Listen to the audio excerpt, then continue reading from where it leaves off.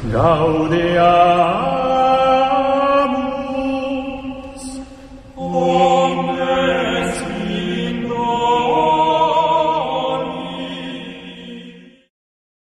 1993년 4월 8일 저는 성모님의 부르심으로 오전 7시 40분경에 눈물 흘리시는 성모님 상에 모셔진 경당으로 갔습니다.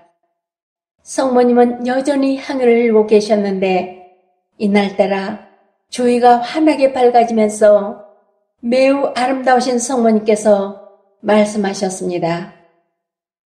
지극히 사랑하는 나의 자녀들아, 오늘은 내가 가장 사랑하는 사제의 날이다. 그들을 위하여 기도하여라. 내 아들 예수는 오늘 자신을 모두 내어놓고 성제 성사와 신품 성사를 세워 계약을 맺어준 복된 날이다.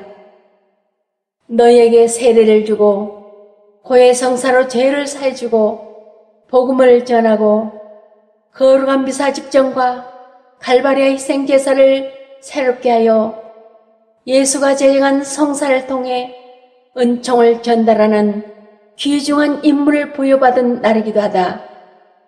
그래서 오늘 주교들은 기름을 축성하여 성유가 되게 한다. 최후의 만찬이 무엇이냐? 그것은 바로 사랑이며 나눔의 잔치이다. 높고 깊고 넓은 나의 사랑 전체를 내 아들 예수와 함께 나의 사랑하는 교황과 추기경, 주교, 그의 모든 성직자와 수도자들, 그리고 세상의 모든 자녀들에게 온전히 내어주고자 나를 모두 짜내어 향기와 기름을 주는 것이다. 내가 모두를 위해서 주는 향기와 기름은 하느님의 선물인데 그것은 바로 나의 현존이며 사랑이자 우정이기도 하다.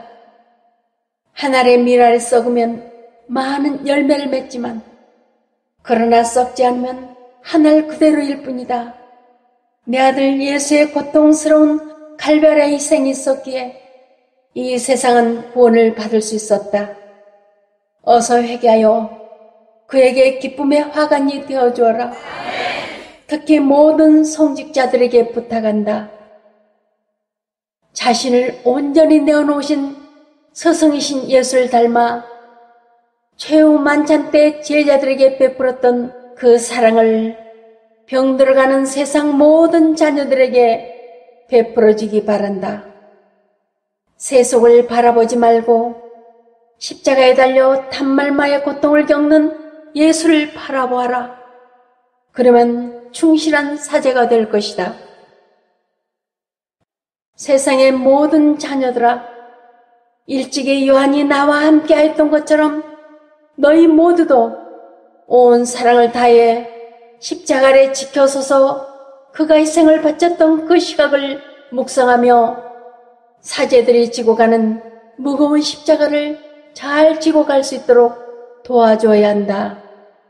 정의를 실천하고자 하는 너희를 세상이 이해하지 못하고 받아주지 않는다고 두려워하지 말아라. 나의 불타는 성심은 언제나 너희의 집이 되어주고 피난처가 되어주리라. 아멘. 아멘.